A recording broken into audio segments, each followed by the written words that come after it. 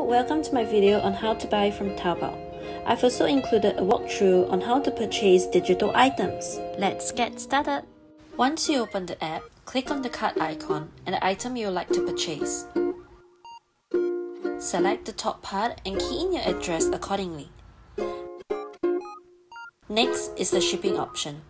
The one that is selected is the Air Consolidated Shipment, and the one after that is the Sea Consolidated Shipment. Choose according to what you are purchasing. Next, click on the wallet icon and key in your card details. After confirming all the details, click the orange button. Go to your profile. You'll see the number of item purchased on top of the truck icon. Click onto it to find out the location of the item and when it will deliver to your house.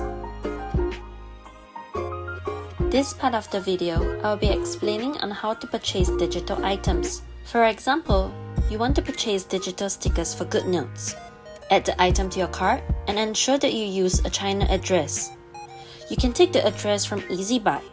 Don't worry, no item will be shipped there as you are purchasing a digital item. After payment, you receive a message from the seller. It will be the link to the item you purchased. Two important apps to download is the Baidu Drive and Tencent Drive.